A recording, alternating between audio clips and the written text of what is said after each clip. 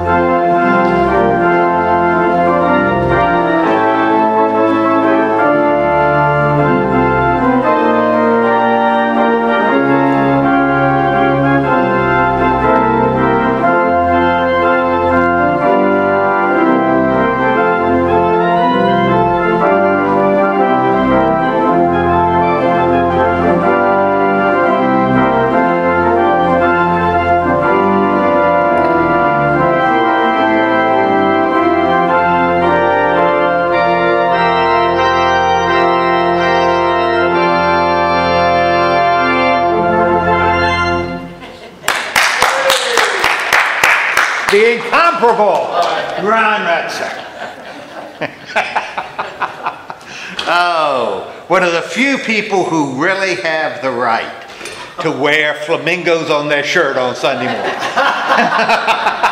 I'm going to draw Do attention you, to that. do you realize, do you realize that you may be the first organist in a Presbyterian church to wear flamingos on their shirt on Sunday morning? Quite sure that is possible. Wait, did you feel that? That was John Calvin turning. but not Charles Wesley, he loved it. well, welcome in the name of Jesus Christ. Uh, have uh, really an important announcement to make right now that my, my lovely wife, hi, uh, she uh, told me um, if you, um, uh, look, I'll take points any way I can get them. Uh, the, um, if you notice, the bulletin is is a little bit of a puzzle this morning, and and you know I I I don't want to point fingers, but I did give them to Tom to bring out. so I, I, ha- I have misstapled the bulletin. Uh, and you could tell by the numbers on the bottom because it goes from page one to page what? Four. Thank you very much. And then if you turn it, it goes to page five and then to page two. Okay, well, we have options, right? We have options. Uh, what, what we can do is you can take the page out. And if, I'll tell you, if you choose this option, and don't do it yet, you choose this option, do it, well, my wife already has. Uh, if you do take that option, do it with some anger. You know, don't, don't just gently do it, do it like this. You know, like you're just disgusted by it. Uh, that's one option. Uh, the, another option is just when we finish page one to do what? Turn to page two. It's in there. You know, which, which is one option you could do. If you choose that option, you won't be tearing anything out, but when you turn the page, look like you're disgusted. You know, because you, you, you didn't have to expect, you didn't expect to do that. You may not have even come if you knew you had to turn the page like that. The third option, and I'm not thinking this is the best. The third option is that we just kind of, y'all, you'll just sit around. Maybe this is the one. In fact, after, after I think about it, this may be the one you choose. Uh, y'all just sit around uh, and I'll reprint the bulletins and staple them correctly. Now, I thought that, yeah, you wouldn't want to do that. But while I do that, Ron may be playing, which may be what you'd like to hear anyway. So, uh, I gotta figure this out, which one you're doing. well then, Ron, tear the page out with attitude. No, no. Oh, oh, okay. All right, all right, all right. we're, we're, do, we're doing To God Be the Glory first. There's two versions. Oh, well. So I, I Well, got play it. the, play, I'll tell you, play verse one, one version, verse two, the other. I got it. You know. I got it down. All right, so that's one, that's one announcement I have for you. The other announcement, and this actually is far more important. You know, there are certain things that you remember uh, as you go through life. You know, an event occurs, and you say, I remember where I was when this event occurred. I remember where I was. And you carry that with you your entire life. And, and we are actually at that point now. Because I understand it's Tom's birthday today. Oh. I told you didn't wanted to give it a big build up. Yes, uh, so if, if we could, I- and I want you to remember, you were here on this Sunday when it was Tom's. So with that in mind, uh, Ron, can you play Happy Birthday? And that calls for full organ too. Full organ, yeah, well, because he's clerk of session. I know. He is, a- other than screwing up the bulletins, he is doing a, he's great. Doing great. All right, so let's, let's sing Happy Birthday.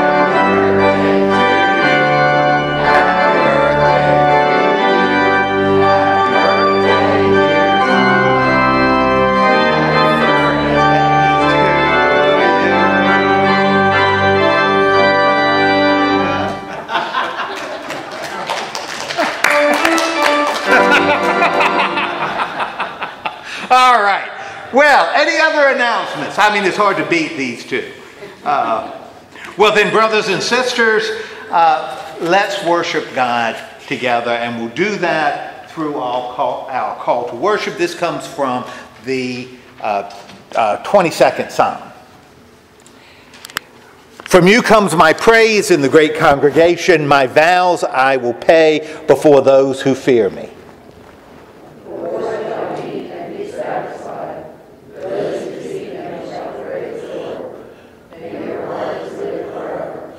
All the ends of the earth shall remember and turn to the Lord, and all the families of the nations shall worship before him.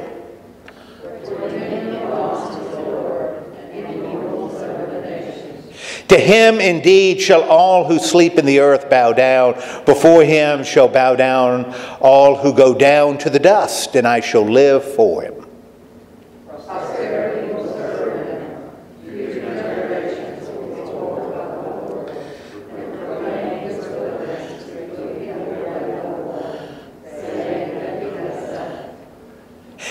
Now, let's all stand and let's sing whatever version Ron plays of to, to God be the glory. And remember, in mid hymn, you've got to do what?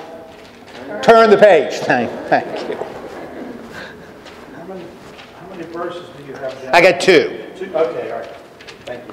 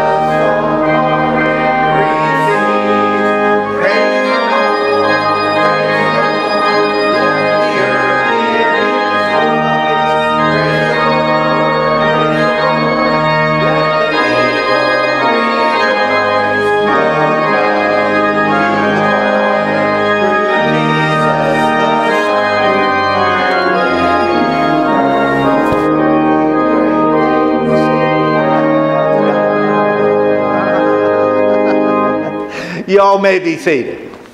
And just a little bit, we're going to hear God's word read and proclaimed. But before we get to that part of the service, it's right and appropriate that we go to God in prayer, kind of to prepare ourselves. And the first prayer we're going to make is a prayer of confession so that we can kind of clean ourselves out a little bit, sort of clean out our ears so that we can hear God's word. Uh, now, since we commit sins both as individuals and as communities, it's right that we pray in two ways. So we'll start by praying the prayer that's in the bulletin so that we can pray together, and then we'll follow it with just a brief time for silent and personal prayer.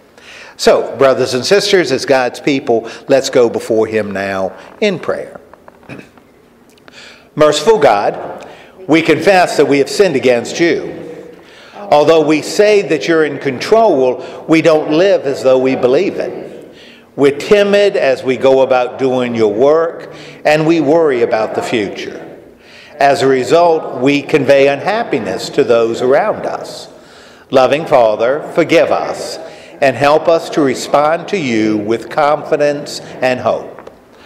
Lord God, in this time that follows, Hear now these prayers we lift up to you, and, and Lord, have mercy upon us.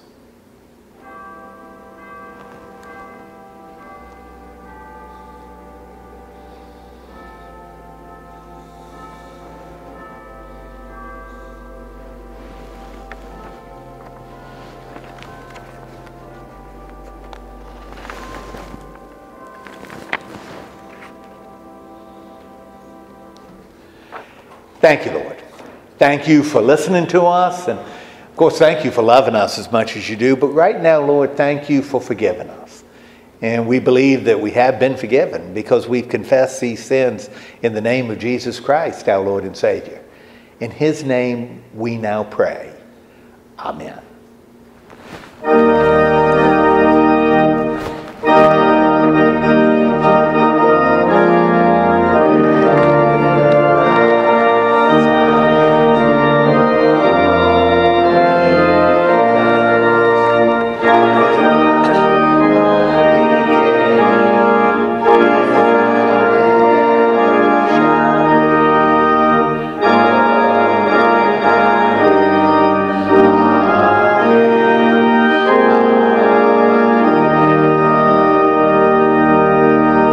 You all may be seated. Now, we've lifted our sins up to God in prayer. Now we have the opportunity to lift up to Him our needs and concerns, but also reasons for joy. So, are, are there any particular needs or concerns that anybody here might have that we'd want to lift up and remember? Yeah, Tim. Uh, looked at my wife Cindy. She is uh, not doing really well. Uh, she just, just needs prayer. So we want to lift up Cindy in our prayers. Thank you. Any anything else? Any any other situation that we might want to remember? The family of Gary Fellows. The the family of Gary. Gary passed away this week unexpectedly, and he was a well-known individual in our community. So we want to remember his family and his friends. Gary's fine.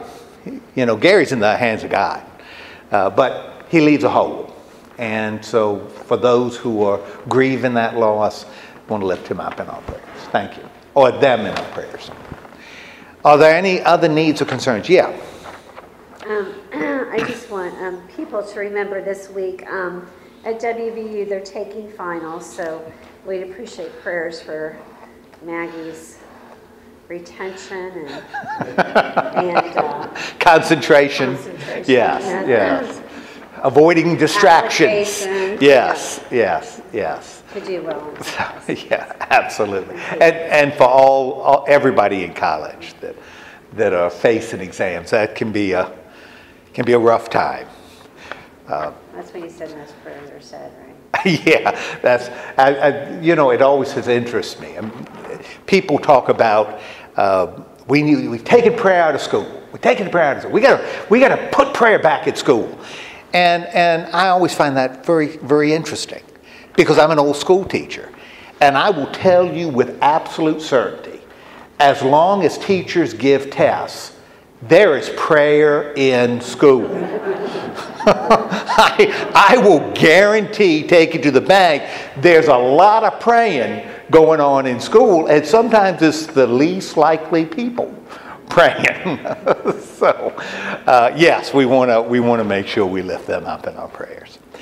Well, with these in mind, uh, and also the concerns we know, let's go to God now in prayer, and I'll I'll open pray for a little bit. Uh, then you all have the opportunity to lift your concerns to God, and we'll close by praying the Lord's Prayer together. So, as God's people, let's approach Him now in prayer. Lord God, thank you so much for giving us the opportunity to be here this morning. What a drop down gorgeous day. We, we, we thank you so much for that. It just makes you feel good to, to be alive when you see a day like this. Uh, of course, Lord, not everything we see is necessarily good. As we look out into the world, sometimes it seems like a harsh and, and scary place. And even when we look inside your church, my goodness gracious, we wonder what's happening. Uh, we look at, at numbers, and the numbers have, uh, have dropped dramatically of folks being involved. And, and that's, a, that's a, at, at the very least, discouraging, if not frightening idea that uh, we're in, in such decline. Uh, scares us.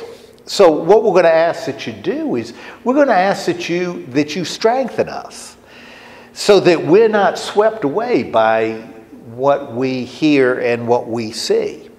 Instead, help us to concentrate our attention on, on you.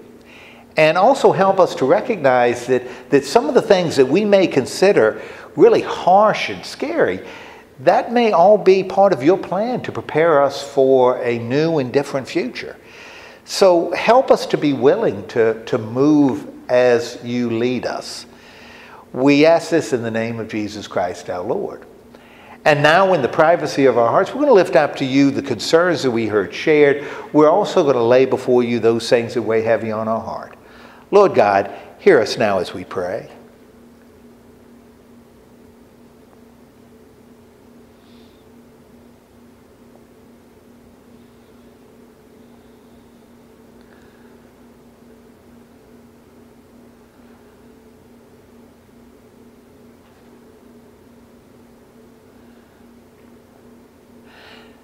Thank you, Lord. Thank you for loving us as much as you do. And thank you for listening to us when we when we offer our prayers. But right now, Lord, thank you for responding to our needs. And, and we know that you will because we've lifted these needs in the name of Jesus Christ, our Lord and Savior, who taught us to pray, praying, Our Father, who art in heaven, hallowed be thy name. Thy kingdom come, thy will be done, on earth as it is in heaven. Give us this day our daily bread, and forgive us our debts as we forgive our debtors and lead us not into temptation, but deliver us from evil. For thine is the kingdom, and the power, and the glory forever. Amen. Now, again, as I've said for, gosh, I think every Sunday I've been here, normally when things settle back down to normal, people will be passing plates, but we're, we're still not doing that yet. Uh, instead, we got a basket there. You are absolutely welcome to. Uh, to drop in an offering in that, in that basket, uh, we will certainly see that it's put to good, good use. So, with, with that in mind, let's all stand and let's sing the doxology.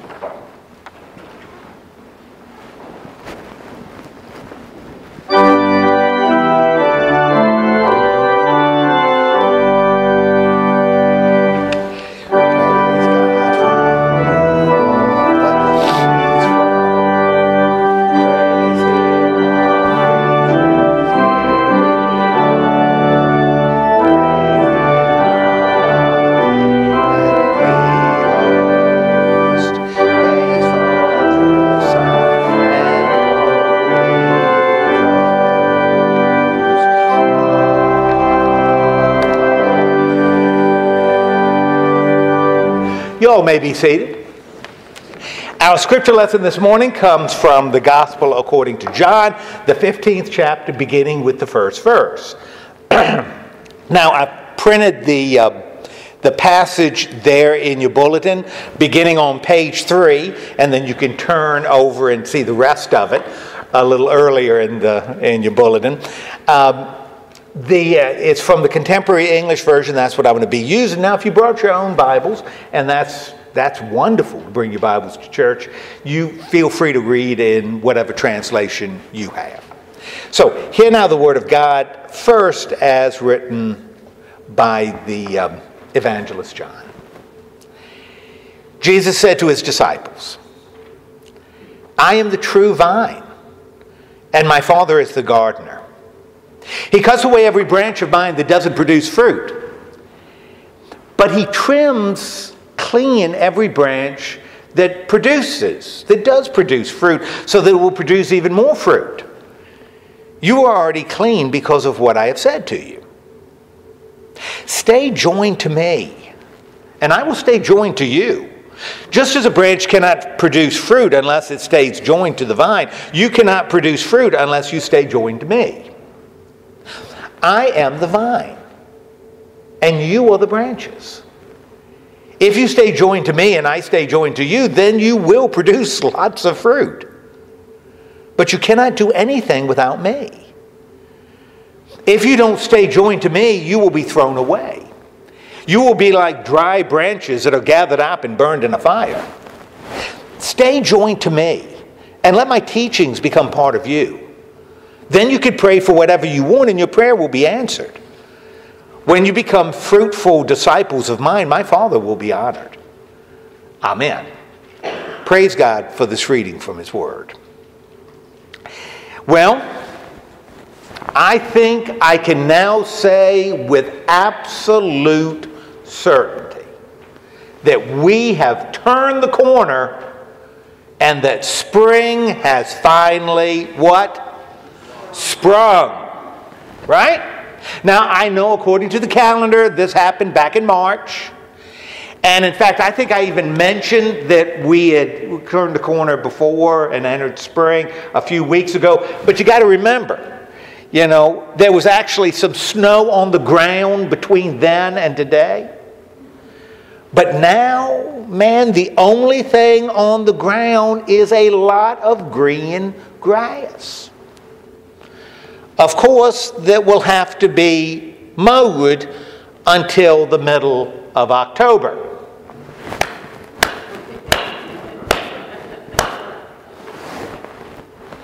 But I'll tell you, grass isn't the only thing growing. I mean, just look around. I'll tell you, from my little office at my house, I could see the guy across the street from where I live. And he is working, he is really working hard in his yard, moving stuff and all kinds and the father and son that live next door, I'm telling you, since the dad is retired, he is cutting and planting and trimming all the time.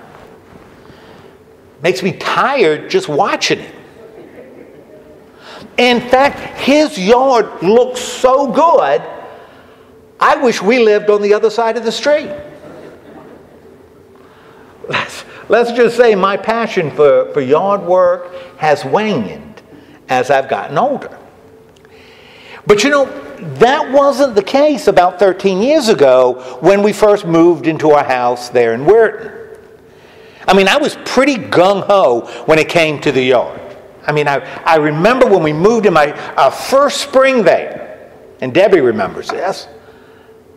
I, I, I, bought and, and put in a whole bunch of azaleas and hydrangeas and, and these little bitty rose bush roots. You know what I'm talking about?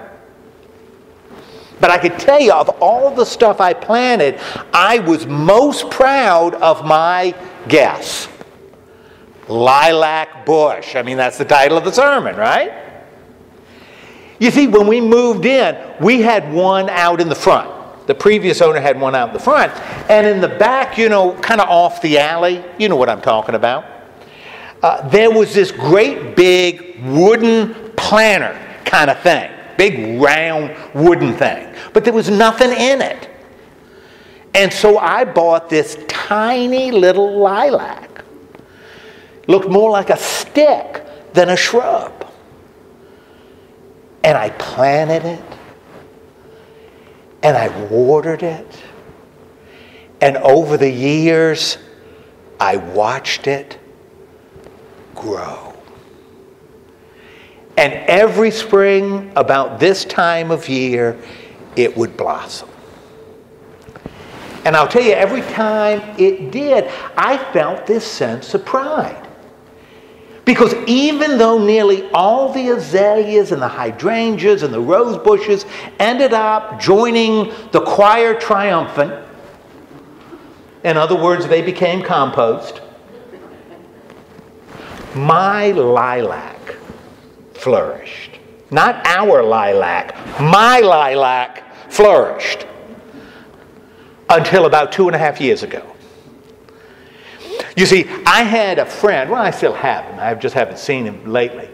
Uh, I had a friend over in Weirton who I think you could say, well, was a little down on his luck. And so I would help him as, as much as I could. For example, since he didn't have a car, when he'd go to visit his daughter in Philadelphia, I'd drive him down to Wheeling so that he could catch the bus. And, and since, and y'all may not know that, the bus leaves Wheeling going east really early. We would stop at Biscuit World there in, in Weirton uh, for breakfast. I'd buy us breakfast. And then when we got down to Wheeling, I'd always give him some money so that he could have, you know, a meal, a lunch on the trip to, to Philly. Now, over the years, I think we did that about, oh, maybe half dozen times. Well, a couple of years ago, I remember he came over to the office there on Main Street in, in Weirton, and he told me that he wanted to repay me for, for what I had done for him. And since he was a landscaper, or had been a landscaper, he offered to do some work around my, my house, you know, yard work. I think it was sometime in September. It was sometime in September. Anyway, uh, since my passion for yard work had already waned by then, man, him telling me that, it was like putting pig in, uh, uh, slop in front of a pig. I told him that would be great. And so one day I picked him up. We made the arrangements. I picked him up. I took him to our house and I opened up the garage so he could use whatever tools in there he needed to do his work. Now, this was in the morning, and I told him that when he was finished, uh, he could either walk home. We live on Marlin Heights, so he could go down, either go down the hill or uh, wait until I would come home a little later. Well, about 3:30 in the afternoon, he called me to tell me that the work had been done and he'd walked home. And that he was really, really excited to hear what I thought of, uh, of what he had done.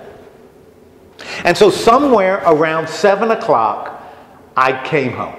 I got home.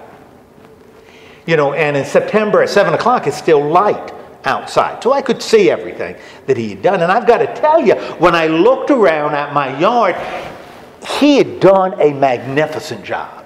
He had done this great job. I mean, he cleaned out all the flower beds, and they were a mess with leaves and all kinds of stuff, dead azaleas and hydrangeas, all that stuff. And the sidewalk had been edged. I'll tell you, it looked as good as the house next door. There was just one problem. He had really cut back my lilac bush. Now, to be honest with you, to be completely honest, over the years, because we're talking about maybe 10 years, over the years, it had really gotten kind of wild and woolly. It was less like a bush and more like a, a, a tree, kind of. But now, not only had the branches been cut really, really short, I don't think there was a leaf on it. And I looked at it, and Bill's laughing at me. I looked at that, and I was crushed. Man, I remember just standing there thinking that the only plant that had survived my care and gardening was a garner. Because without the branches, I thought there was no way this lilac was going to live. Now, that's the story of my lilac, part one. Of course, if you're wondering, there's really a reason why I told you all this this morning.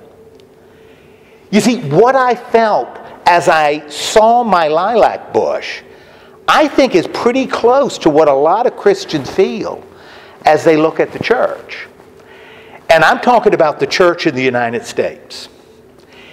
And you know, when you consider the statistics, I think we have every reason to be as uncertain and as discouraged as I felt when I was looking at my lilac. For example, yesterday I was going through some of the statistics. And I'll tell you, have you read, seen some of the statistics about the church? Man, it's nothing to write home about. I mean, according to an article that was published last month, so it wasn't published like five years ago, it was last month. And it was based on information from Gallup surveys. In the 35 years I've been a minister, the membership in churches, synagogues, and mosques has declined from about 70% 35 years ago, which is, by the way, the same percentage as it was when I was born. It has declined from 70% to around 47%. 47%, less than half the people in the United States are affiliated with some religious body. Now, that's over 20 points in three and a half decades. And I'll tell you something else almost half of that decline has taken place in the last five years. Half of the decline, 10 points in the last five years. And I'll tell you, if that's not discouraging enough, although for baby boomers like me, our membership is still somewhere around 60%. For millennials, and that's not even the age of my daughter. These are folks who were born between the years 1981 and 1996. Their membership is 35%. Lord knows what it is for, for, for Maggie. Now, 10 years ago for millennials, it was at 50%. Now, those are the cold, impartial statistics.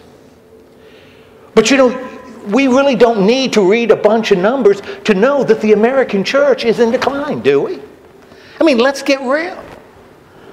I think we can all see that most congregations are getting smaller, right? They're getting smaller. And those of us who are involved in those congregations are getting what? Older. Look around.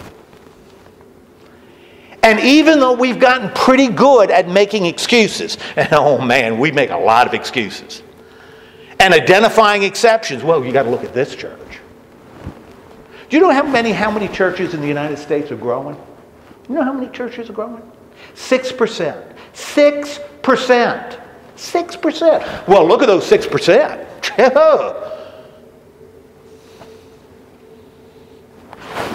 and of course, we're great at assigning blame. Well, we know why it's happening. It's because of what? Them. That doesn't change anything, does it? That doesn't really change anything. At least it hasn't in the last five years when involvement has dropped 10%. No, the decline is real. And you know, for that reason, well, it's not hard to understand how Christians, and I'm talking about people who have dedicated themselves to, to Jesus Christ in the church, it's easy to understand how they can become uncertain and discouraged, at least as much as I felt when I looked at my lilac bush. I remember back when I was a boy, and gosh, boy, that, that would have made it like 20 years ago. the man in the flamingo shirt called. No, when I was a boy, the minister in the Presbyterian congregation my family attended, he used to say, and I remembered, he used to say, the church is one generation from extinction. One generation from extinction. Now, that was in the late 60s, he said it. And at that time, 70% of Americans had a religious affiliation somewhere. I wonder what he would say today. And although I am far closer to the end of my ministry than I am to the beginning, frankly, I worry about what I'm leaving my daughter and her children. I'll tell you, when I read the statistics and see what's happening, there are times when I worry that what that minister said over 50 years ago, man, it just might be true. And I'll tell you something else. I have talked to enough church people, even some of y'all here.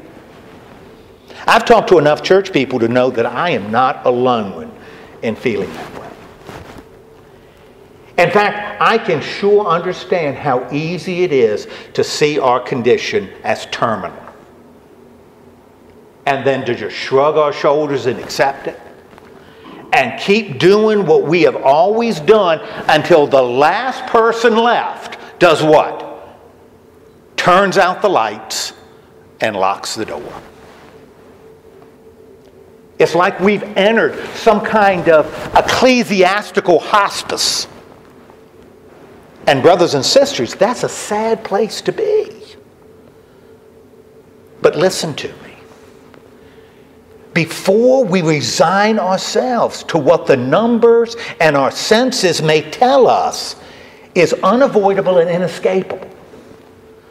I think we need to pause and look at the passage we just read from John. And I'll tell you why. When we really take these words from Jesus seriously, and when we apply them to our situation into our life, not only do I think we can avoid some of the uncertainty and discouragement we often experience, I believe we can find two really good reasons to feel some real confidence and some genuine hope. And like I said, it's right here in this passage. I mean, using the image of the vine and the branches First, I think we can trust in the quality of the vine if we want to experience real confidence. You know, the one in whom we're connected and from whom we draw strength. Remember, Jesus said this to his disciples He said, I am the true vine, Stay joined to me, and I will stay joined to you. Just as a branch cannot produce fruit unless it stays joined to the vine, you cannot produce fruit unless you stay joined to me. I am the vine and you are the branches. If you stay joined to me and I stay joined to you, then you will produce lots of fruit. Stay joined to me and let my teachings become part of you. Then you can pray for whatever you want and your prayers will be answered. When you become fruitful, uh, fruitful disciples of mine, my Father will be honored. You see, regardless of what we might think, and regardless of what we might say, man, regardless of what we might do, the vine, the reality of Jesus Christ just doesn't change. And when we're joined to Him and doing what He has called us to do in the way He's called us to do it, and that's important, man, we are going to produce fruit. We're going to do it. Now, I want you to notice, I didn't say we might produce fruit, or we could produce fruit, or we should produce fruit. I didn't say that. We are going to be fruitful. In fact, using his own words, we're going to produce what? A lot of fruit. That's what he says. And the reason for that is clear. If we as individuals and as a community, if we're joined to Jesus and if his teachings have become part of us, then we know exactly what we've been called to do. We know what we've been called to do. We really do. It's no mystery. I mean, in John, right after he identified himself as the vine and us as the branches, this is what Jesus said. He said, I have loved you just as my Father has loved me, so remain faithful to my love for you. If you obey me, I will keep loving you just as my Father keeps loving me because I have obeyed him. I have told you this to make you as completely happy as I am. Now I tell you, should be a drum roll. Now I tell you to love each other. To love each other as I have loved you. The greatest way to show love for friends is to die for them. You are my friends if you obey me. I'll tell you, there's no way around it. Our job as Christians and our job as the church is to do what? What is our job? What's our job? To love one another, to love others. It's not rocket science. And even though we may we might have to express that love in ways that are a little different than we did 35 years ago, the love and the kindness and the willingness to sacrifice ourselves for the sake of our neighbors, man, that hasn't changed.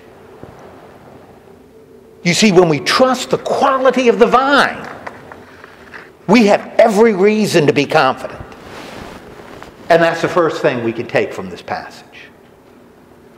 And second, I believe we can feel genuine hope the minute we trust in the skill of the gardener. In other words, the one who prunes and shapes the plant so that it can be most productive. Again, just listen to what Jesus Christ said. I am the true vine, and my Father is what? The gardener. He cuts away every branch of mine that does not produce fruit. But he trims clean every branch that does produce fruit so that it can produce even more fruit. You are already clean because of what I have said to you. I'll tell you whether we like it or not. The Father is working to make us as productive as we are capable of being. In other words, we're being pruned and we're being trimmed so that we can effectively show and share the love of God to those around us. That's what the gardener's doing because that's the gardener's job. He prunes and trims. Of course, I can understand how the idea that unproductive branches are going to be what? Cut away. And if a branch is detached, it's going to be thrown into the fire. Man, that can be pretty scary, right? But what if we viewed this pruning and trimming as dealing with what we do rather than who we are? In other words, instead of seeing God cutting away unproductive people and cutting away unproductive churches and casting them out, suppose He's leading us to cut away those actions and those attitudes that may explain, at least in part, why church membership has seen such a dramatic decline in the last 20 years. You see, maybe the way we communicate and demonstrate our Christian love, maybe it needs to be reshaped a little bit so that it has meaning to a new generation living in a new world. And even though that may mean saying goodbye to some of the things that are so meaningful to us, man, they really are. And doing that is both difficult and painful. Maybe some of those old forms are stifling our ability to be fruitful. Maybe they need to be pruned and trimmed so that new growth can take place. Of course, how that might be done, man, that is difficult to know, isn't it? And that's why it's so important for, uh, for us to recognize that we have one heck of a gardener. And he really knows what's best and He'll show us the way we should move. And I'll tell you something else. He'll comfort us as we let go of some of those things that we valued from the past so that we can be more productive as we head into the future. And that's why I think we can feel genuine hope when we trust in the skill of the gardener. And that's the second thing we can take from this passage. And you know, it's kind of interesting. That's really what I saw happen with my lilac. Remember, I told you part one? This is part two. You see, my friend, even though man I took his name in vain when I saw that lilac. My friend really knew what he was doing when he cut back the bush.